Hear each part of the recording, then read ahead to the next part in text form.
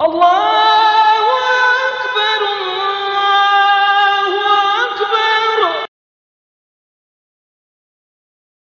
Dikatakan al-ummahat madrasatul ula liwalidihi. Al-ummahat perempuan-perempuan yang bermana ibunya itu adalah tempat belajar pertama terhadap anaknya. Bismillahirrahmanirrahim. Assalamualaikum warahmatullahi wabarakatuh. Alhamdulillahilladzi hadana bi ta'atihi wa jazarna an ma'siyatihi wa ashhadu an la ilaha illallah iqraran bi wahdaniyatihi wa ashhadu anna muhammadan abduhu wa rasuluh amma ba'du. Hadirin jamaah muslimin wal muslimat rahimakumullah. Alhamdulillah puji syukur kita kehadirat Allah atas segala nikmat-nikmat yang telah diberikan kepada kita.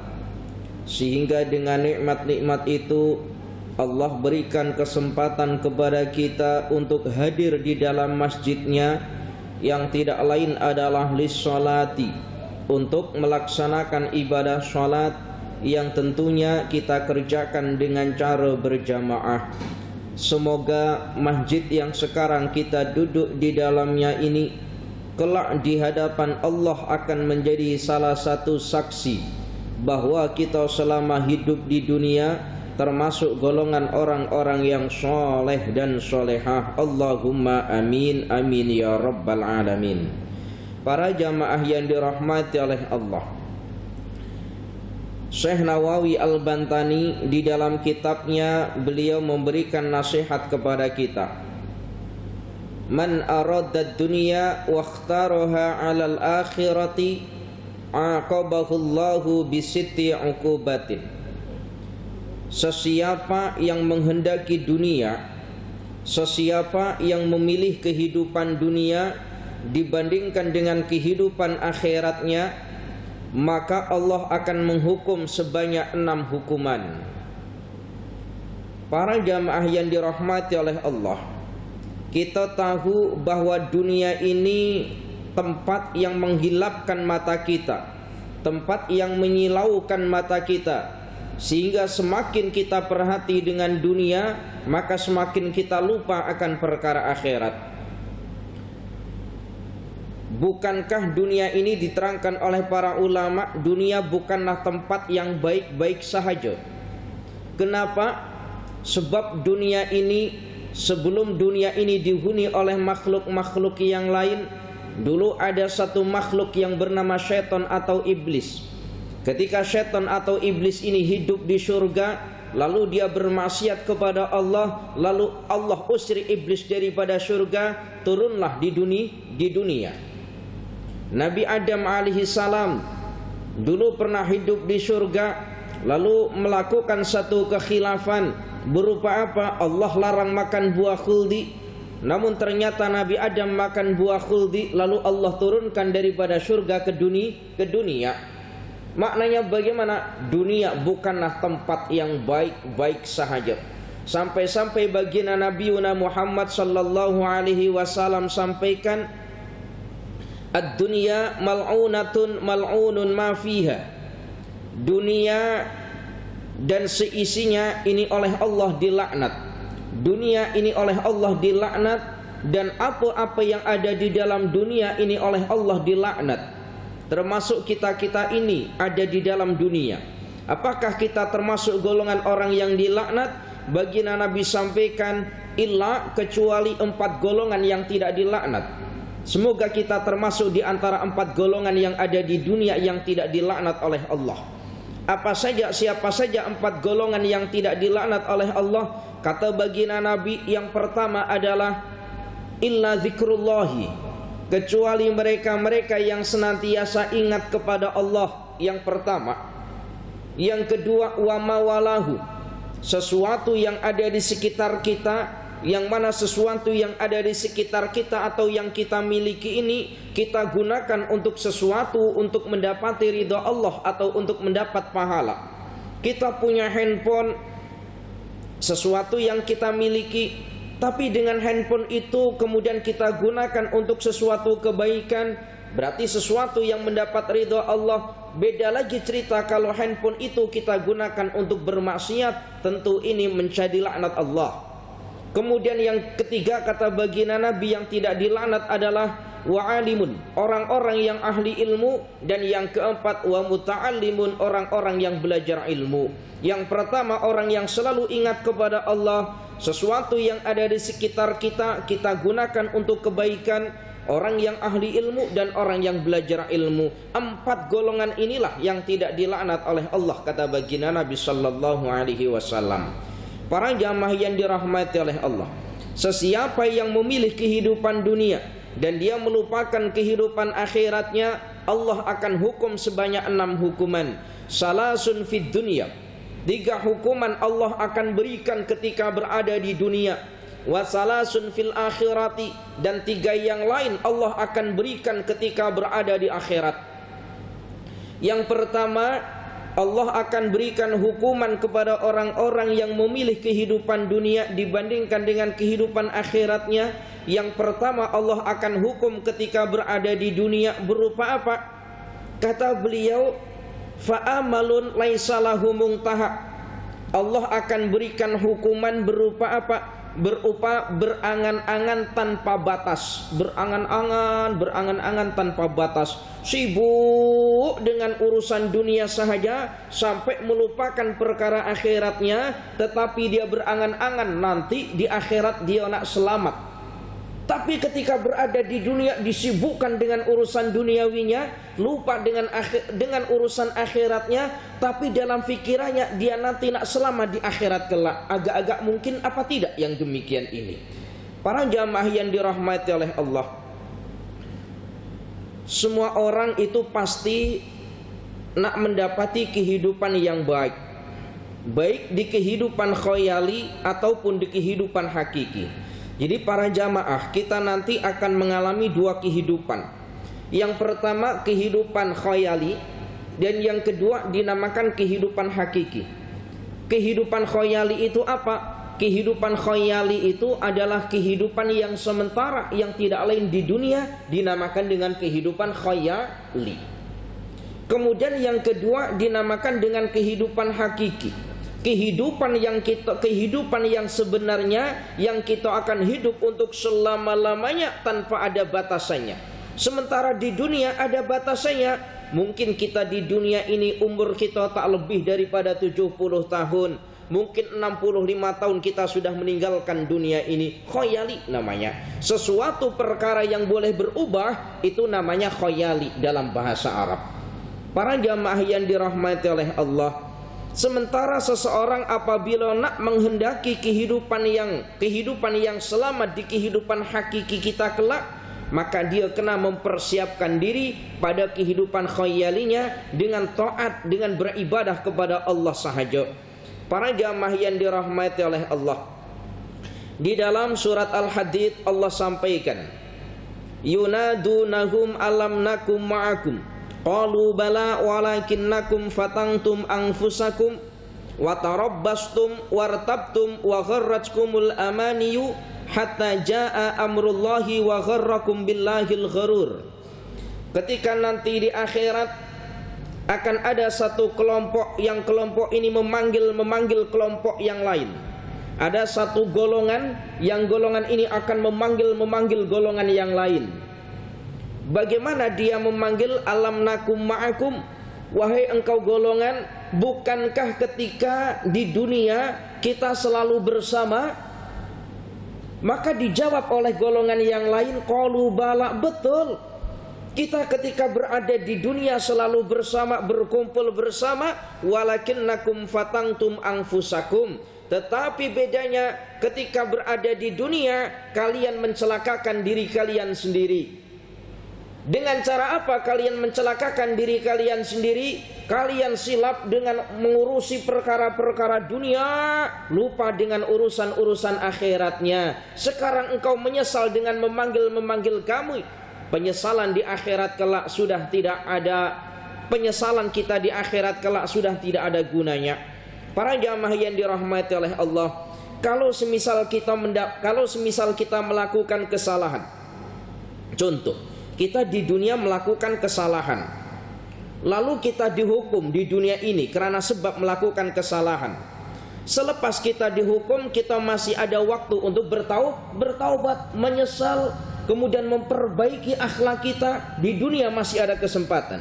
Tapi kalau sudah di akhirat kelak, maka penyesalan itu sudah tidak ada guna.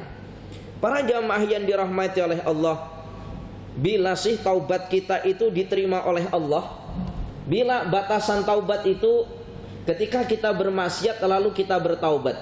Bila taubat kita itu diterima oleh Allah, artinya masa bila ada kesempatan kita untuk bertaubat kepada Allah selagi nyawa kita belum berada di ghar-ghar. Ini namanya apa ya? Halkum ini namanya. Betul ya, ini halkum ya, ghar-ghar. Ini kalau bahasa Arabnya ghar-gharin. Ketika nyawa kita sudah berada di ghar-ghar ini, maka sudah tidak ada lagi kesempatan kepada kita untuk bertaubat. Sebagaimana Firaun. Firaun itu selama hidupnya bermaksiat kepada Allah raja yang zalim selama masa hidupnya bermaksiat kepada Allah. Ketika Firaun mengejar Nabi Musa alaihi salam ketika Firaun berada di tengah-tengah lautan Allah baru tampakkan kekuasaan Allah barulah Firaun mengucapkan kalimat amantu bi rabbi Musa ini betul-betul, ini betul-betul kekuasaannya Tuhannya Musa. Tidak ada orang, tidak ada seseorang pun yang mampu membelah lautan kecuali ini adalah Tuhannya Musa yang tidak lain Allah. Akhirnya apa? Firaun itu sempat beriman dengan mengucapkan kalimat amantu bi rabbi Musa. Aku beriman kepada Tuhannya Musa, tapi sudah terlambat. Kenapa? Sebab pada saat itu nyawanya Firaun sudah berada di ghar-ghar. Ini korban. Ya Allahu ya Karim.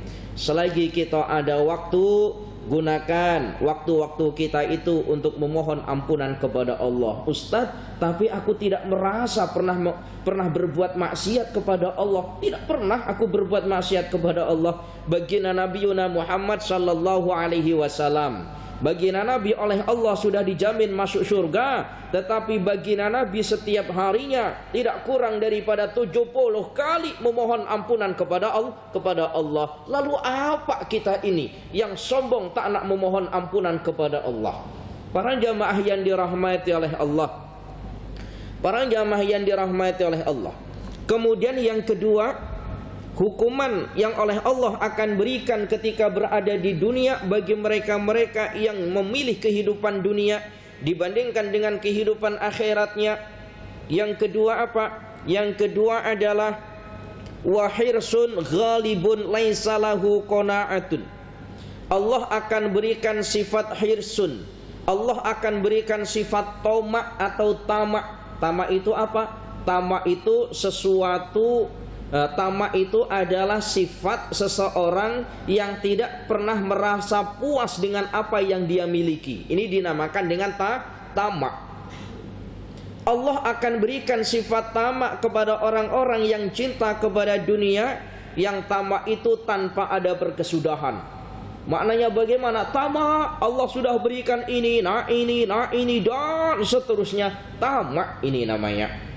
Para jamaah yang dirahmati oleh Allah, apakah sifat tamak ini apakah sifat tamak ini merugi hanya merugikan bagi orang yang mempunyai sifat tamak itu sendiri? Jawabnya tidak.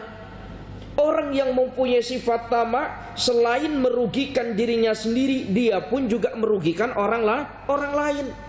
Bagaimana mungkin merugikan orang lain?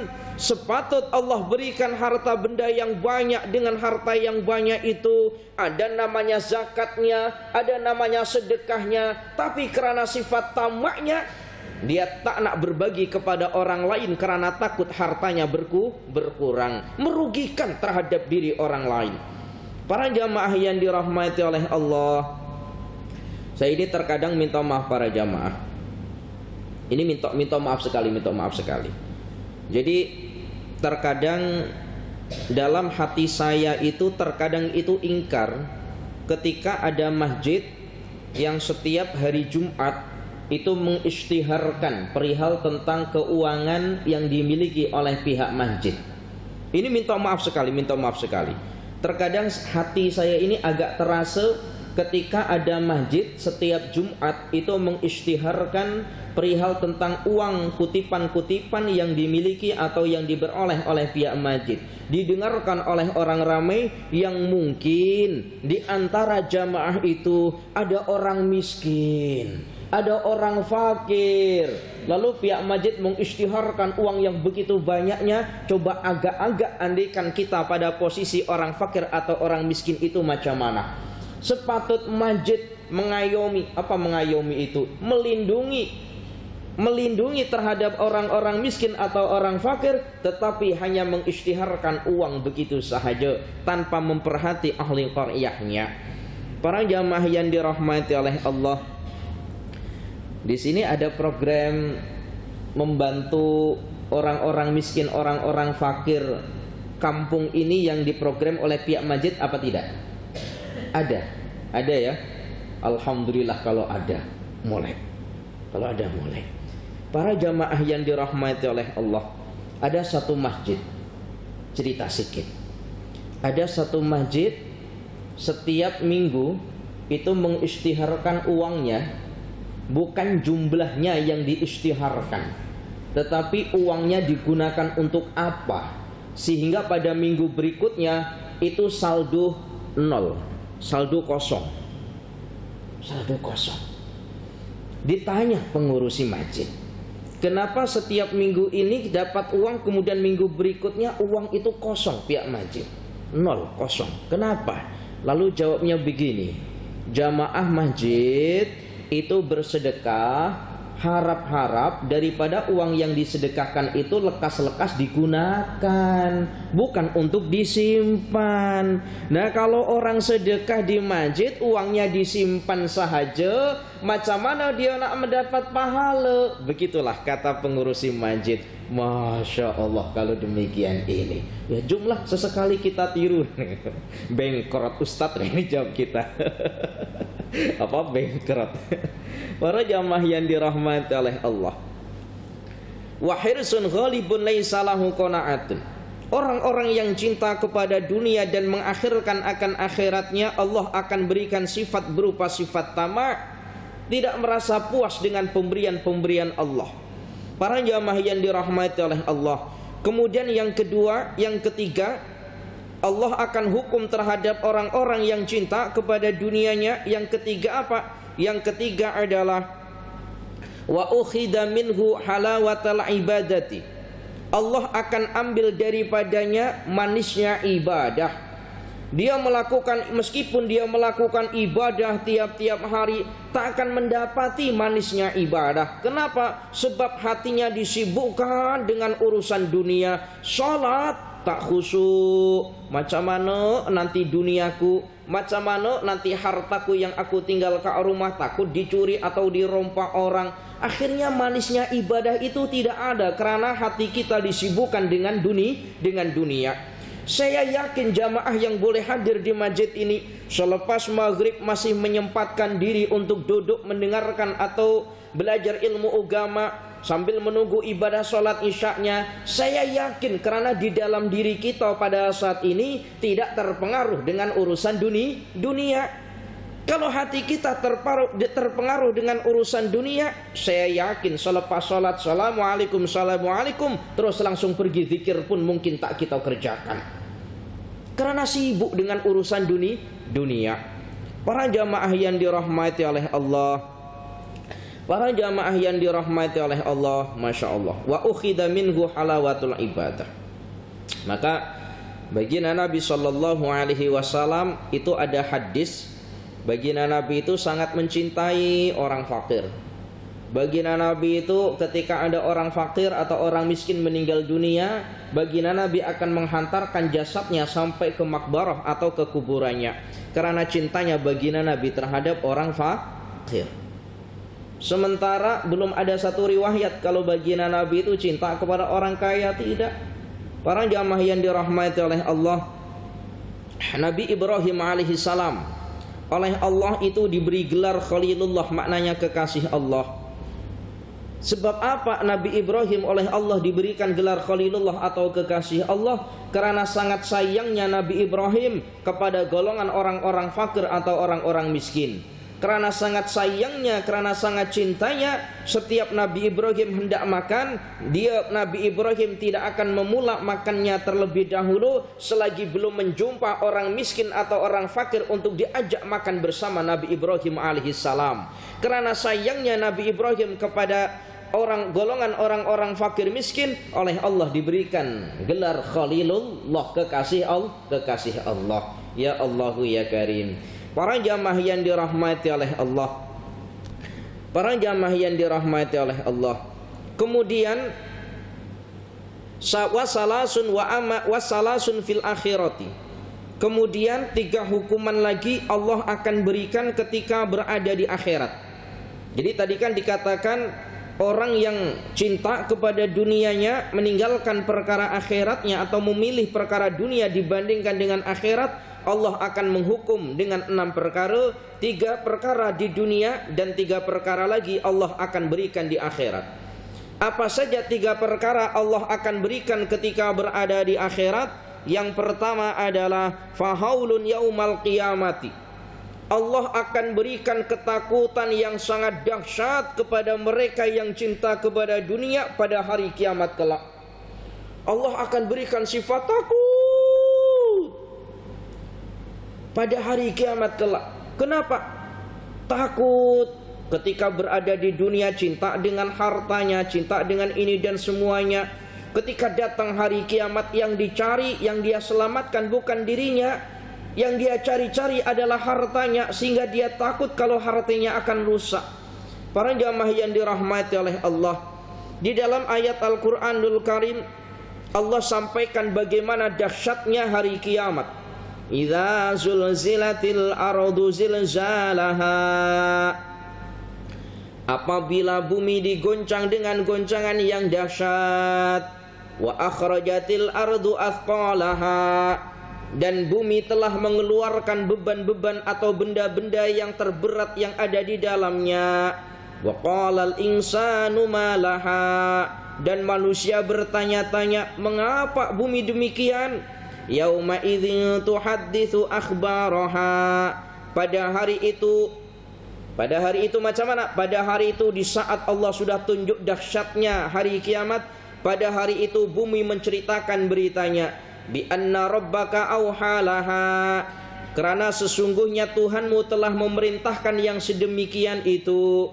Yauma idzi yasdurun nasu ashtatan a'malahum. Pada hari itu semua orang oleh Allah akan dibangkitkan dan oleh Allah akan ditampakkan macam mana amal-amal mereka ketika berada di dunia. Kalau semisal berada di dunia, dia habiskan dia habiskan umurnya untuk memperbanyak ibadah atau memperbanyak amal kebaikan, famay ya'mal misqala dzarratin khairan yarah Sesiapa yang beramal kebaikan meskipun itu hanya sebesar biji zarah, dia akan melihat kebaikan itu pada hari kiamat.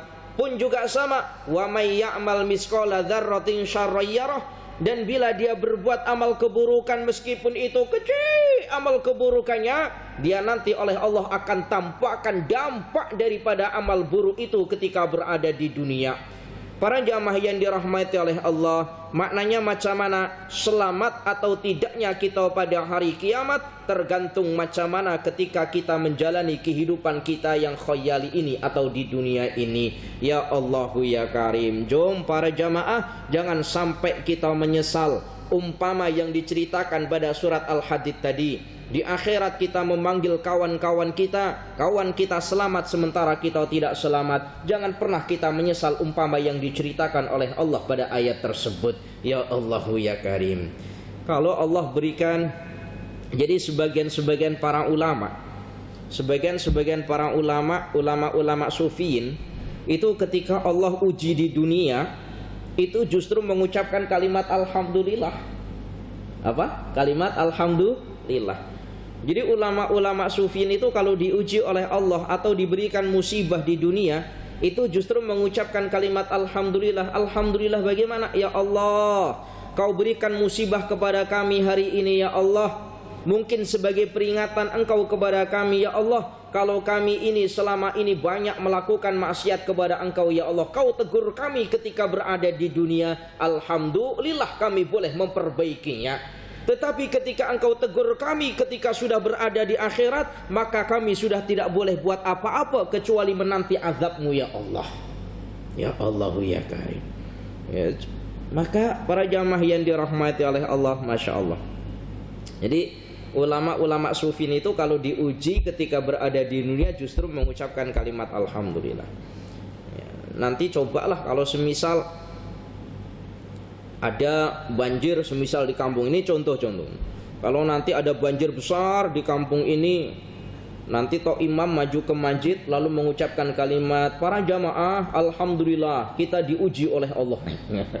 Agak-agak macam mana jamaahnya marah ketak dilempari batu itu imamnya dikasih musibah alhamdulillah. Para jamaah yang dirahmati oleh Allah. Nabi Ayub alaihi salam itu oleh Allah ya pernah diuji dengan sakit bertahun-tahun lamanya. Tetapi Nabi Ayub itu tidak memohon kepada Allah dengan memohon supaya lekas sembuh itu tidak. Malah Nabi Ayub memohon kepada Allah, "Ya Allah, andaikan dengan sakit ini semakin mengingatkan aku kepada Engkau ya Allah, maka jangan pernah Kau hilangkan rasa sakit daripada tubuhku ya Allah." Karena dengan sakit ini aku selalu ingat kepada Engkau ya Allah. Ya Allah ya Karim. Para jamaah yang dirahmati oleh Allah. Maka para jamaah ingat sebelum kita penyesalan itu pasti ada. Sebaik apa pun orang di dunia pasti nanti pada akhirnya juga akan ada penyesalan entah itu penyesalan berupa apa pasti akan menyesal. Para jamaah yang dirahmati oleh Allah. Kemudian yang kedua Allah akan berikan hukuman ketika berada di akhirat. Yang kedua apa? Yang kedua adalah wal hisabus syadidu Allah akan memberikan hisab. Allah akan memberikan hisab. Apa hisab itu? Allah akan menghisapnya. Allah akan menghisapnya dengan hisab yang sangat dahsyat. Hisab itu pertanggungjawaban kita di akhirat. Jadi orang-orang yang cinta kepada dunia itu pertanggungjawaban di akhiratnya itu sungguh sangat berat sekali. Para jamaah yang dirahmati oleh Allah maka ada satu keterangan begini Sebaik-baik orang yang mati itu adalah mati dalam keadaan miskin. Apa? Mati dalam keadaan mis miskin. Kenapa? Sebab bila dia mati dalam keadaan miskin nanti di akhirat kelak perihal tentang hartanya ini tidak banyak oleh Allah tanya. Sementara orang yang mati dalam meninggalkan kekayaan yang begitu banyak ini nanti hartanya akan dipertanggungjawabkan di akhirat kelak. Bukankah pernah baginda Nabi Muhammad sallallahu alaihi wasallam menyampaikan di akhirat kelak semua makhluk oleh Allah akan ditanya dengan empat soalan. Kita-kita ini oleh Allah akan ditanya empat soalan. Hadisnya begini hadisnya. La tazulu qadama abdin hatta yus'ala an arba' Tidak akan pernah bergeser kedua kaki seorang hamba selagi Allah belum menanyakan empat soalan kepada hambanya. Apa saja empat soalan yang oleh Allah akan tanyakan kepada kita?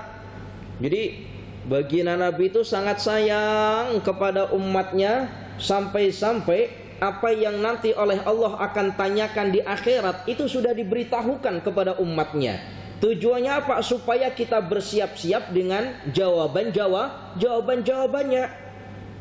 Boleh paham ya kalimat ini ya? Karena sangat sayangnya baginda Nabi terhadap umatnya Apa-apa yang nanti di akhirat kelak Allah akan tanyakan kepada kita Itu sudah disampaikan oleh baginda Nabi. Tujuannya supaya kita bersiap-siap. Maka saya ini punya pelajar. Pelajar saya ini ya sedikit Pelajar saya ini ya Saya kira ya pandai tapi agak sedikit dekil. Agak sedikit nakal dekil.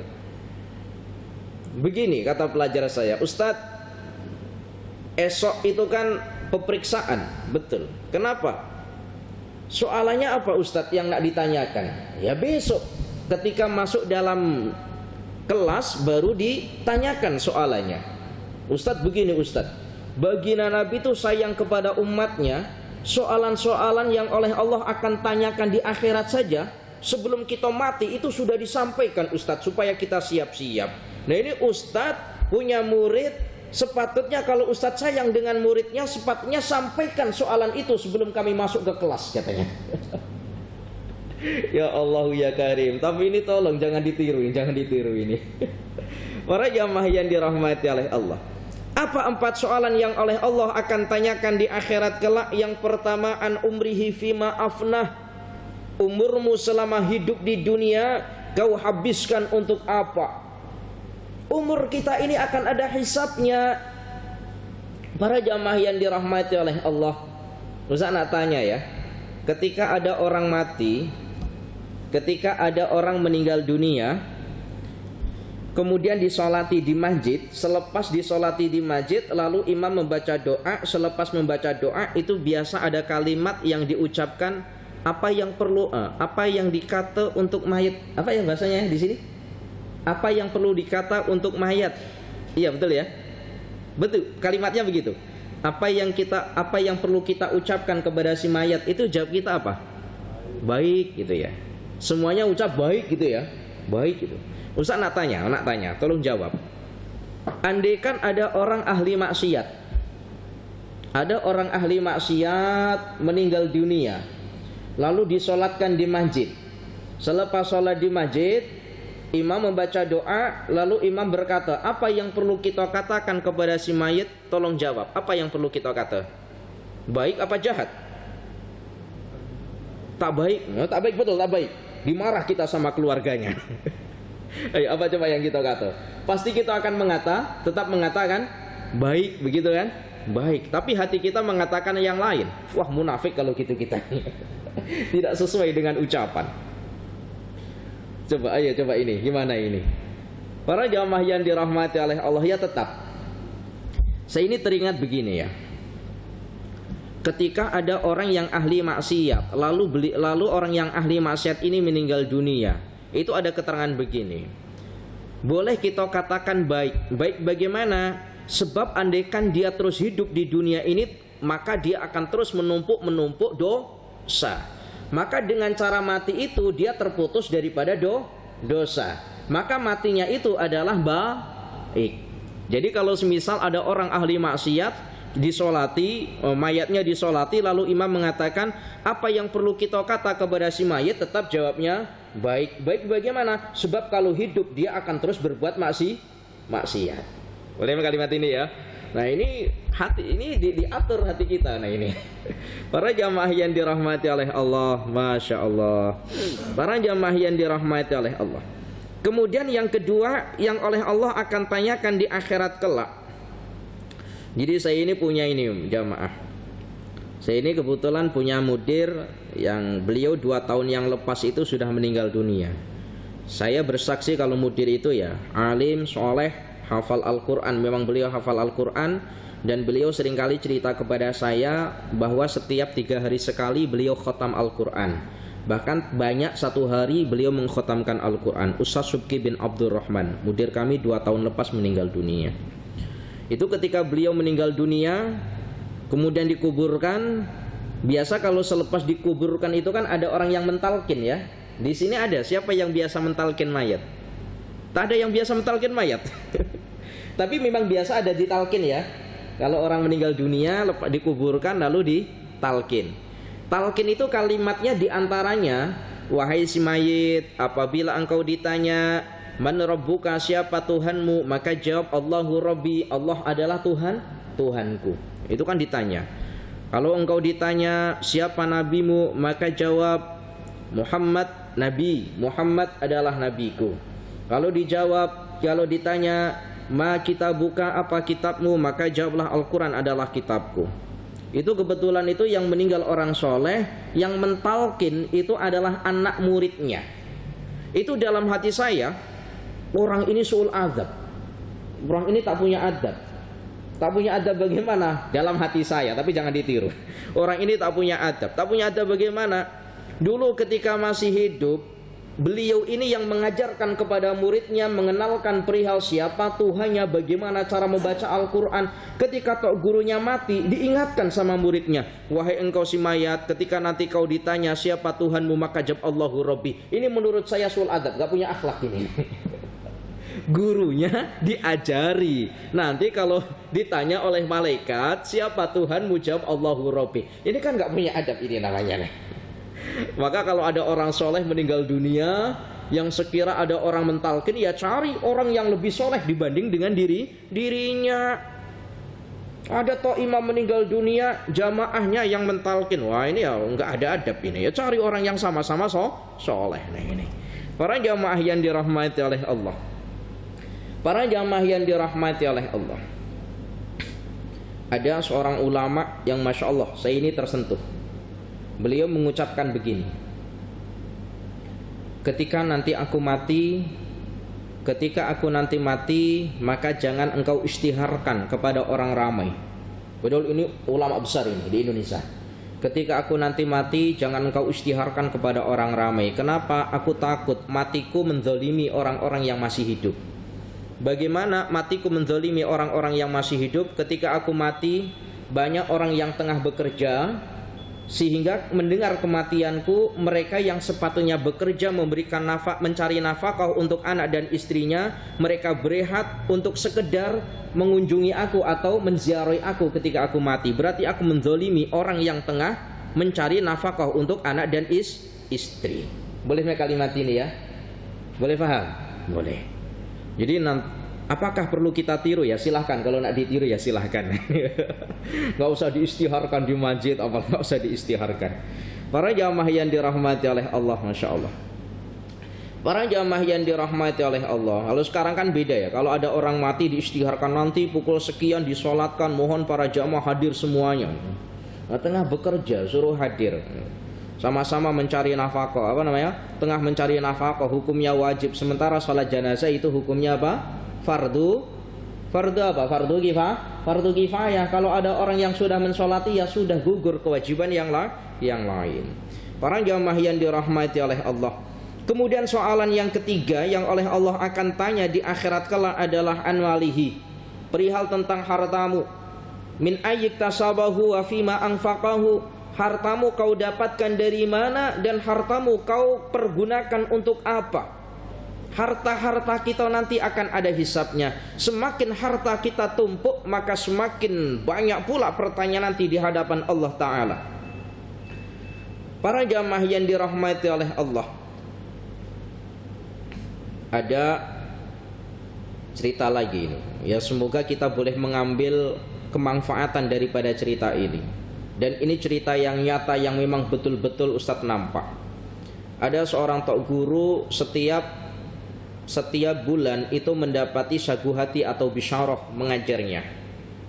Ketika di, beliau diberikan bisyarah atau sagu hati, minta maaf para jamaah kalau kita ini uh, punya tok guru atau apa mengajar kita, jangan kita niatkan ini bayaran. Salah tapi niatkan apa sagu hati atau bahasa Arabnya bisyarah sesuatu yang boleh menggembirakan hati ketika tok guru ini setiap bulan itu diberikan bisyarah atau sagu hati tok guru ini menangis ditanya wahai tok guru setiap engkau diberikan sagu hati kenapa engkau selalu menangis maka jawab tok guru itu begini aku takut apa yang aku sampaikan kepada kalian berupa ilmu-ilmu itu pahalaku adalah berupa sagu hati ini sahaja nanti di akhirat aku tidak mendapat apa-apa. Yang aku takutkan itu. Aku mengajar tiap-tiap hari kepada kalian, lalu kalian berikan sagu hati kepadaku berupa uang ini. Aku takut nanti di akhirat sudah tidak mendapat apa-apa. Hanya mendapat di dunia berupa ini saja. Di akhirat aku tidak mendapat apa-apa. Itu yang paling aku takuti, kata Tok Guru. Tapi ini ya tingkatan-tingkatan orang-orang yang memang hatinya bersih Nah kalau zaman sekarang ya minta-minta maaf. Kalau ada orang ngajar jauh-jauh datang ke masjid Balik tidak diberikan apa-apa ya Macam mana hatinya marah-marah? Nah ini. Guru Para jamaah yang dirahmati oleh Allah Sekarang kita itu mudah. Kalau dulu orang nak mengaji kita datang kepada tok guru. Sekarang terbalik. Kalau kita nak mengaji tok guru yang datang di hadapan kita. Mudah kan? Itu pun kadang-kadang kita pun tak hadir juga. Nah ini para jamaah yang dirahmati oleh Allah. Yang keempat yang oleh Allah akan tanya di akhirat kelak adalah an ilmihi ma fa'ala bihi? Ilmumu kau amalkan untuk apa? Ilmu yang kita ilmu yang kita dapat ini kita amalkan untuk apa? Saya mendapati nasihat daripada tok guru begini para jamaah. Kalau suami tidak pernah belajar ilmu agama, lalu apa yang nanti akan diajarkan kepada istrinya? Kalau istri tidak belajar ilmu agama, lalu apa yang akan diajarkan kepada anaknya? Kalau anaknya tidak belajar ilmu agama, lalu nanti ketika kalian berdua mati, apa yang hendak didoakan? Ketika suami tidak pernah belajar ilmu agama, apa yang diajarkan kepada istrinya? Sebab kenapa? yang wajib mengajarkan ilmu agama kepada istri itu adalah suami. Kalau an, kalau istrinya tidak pernah belajar ilmu agama, lalu apa yang diajarkan untuk anaknya? Kenapa istri ataupun perempuan? Sebab dikatakan al ummahat madrasatul ula liwalidihi. Al ummahat perempuan-perempuan yang bermana ibunya itu adalah tempat belajar pertama terhadap anaknya. Boleh paham ini ya? Al ummahat madrasatul ula liwalidihi. Ibu atau mak adalah tempat belajar pertama untuk anak-anaknya. Ketika anaknya menyusu dengan digendong lalu emaknya membaca sholawat atau membaca ayat-ayat Al-Quran Insya Allah ketika besarnya juga orang-orang yang ahli berzikir, ahli membaca Al-Quran Tapi kalau ada mak-mak Nah sini bahasanya apa? Mak-mak ya Apa sini? Kalau ibunya semisal menggendong anaknya, menyusui anaknya sambil menyanyi TikTok-TikTok yang ada di internet itu, besar anaknya ya ahli TikTok, ahli nyanyi-nyanyi umpama di TikTok. Nah ini. Kenapa? Al ummahat madrasatul ula liwalidihi. Ibu adalah tempat pertama pendidikan terhadap anaknya, bukan ayahnya, bukan ibu, ibunya. Para jamaah yang dirahmati oleh Allah. Kalau anaknya sudah tidak belajar ilmu agama, lalu ketika kita nanti mati-mati ini siapa yang akan mendoakan? Bukankah pada khutbah pagi tadi, eh, khutbah Jumat tadi kalau pun tidak salah, pada khutbah tadi kalau tidak salah atau khutbah yang kemarin dikatakan bahwa ada amalan-amalan yang tidak akan terputus pahalanya. Di antaranya adalah berupa anak soleh yang senantiasa mendoakan kepada kedua orang tuanya. Khutbah tadi ya, betul ya? Betul khutbah tadi. Wah, nampaknya tidur ini jamaah ini. khutbah itu di mana-mana masjid sama kan? Sama. Tadi khutbah itu menjelaskan tentang apa tadi khutbah itu? Tentang kematian, ya kan? Tentang perihal tentang kematian, amal-amal yang perlu kita bawa atau bekalan kematian. Khutbah tadi itu loh.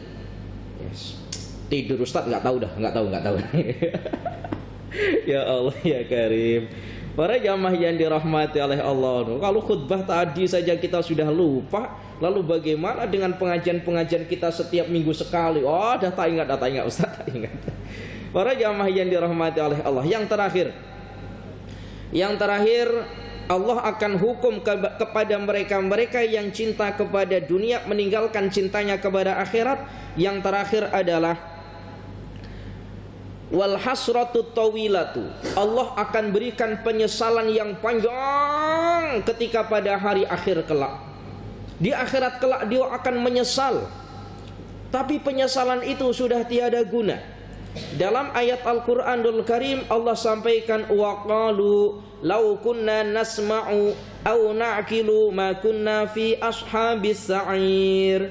Insyaallah dalam surat Al-Mulk kalau tidak salah وقالوا لو كنا نسمع أو نعقل ما كنا في أصحاب السعير dan mereka berkata mereka-mereka yang menyesal tadi itu sekiranya kami mendengarkan atau memikirkan peringatan-peringatan itu niscaya tidaklah kami termasuk penghuni-penghuni neraka yang menyala-nyala maknanya dia menyesal di akhirat kelak andaikan di dunia aku ini boleh andaikan di dunia aku mendengarkan apa yang dikatakan kepada kepada kami berupa ilmu-ilmu agama, nasihat-nasihat agama itu dan kami melakukannya, tentu kami di akhirat ini bukanlah termasuk golongan penghuni-penghuni neraka. Menyesal, tapi penyesalan itu sudah tidak ada guna. Ya Allahu ya Karim, semoga kita yang hadir di sini termasuk golongan orang-orang yang selamat baik selamat di dunia maupun selamat di akhirat kelak. Amin. Amin. Amin ya rabbal alamin.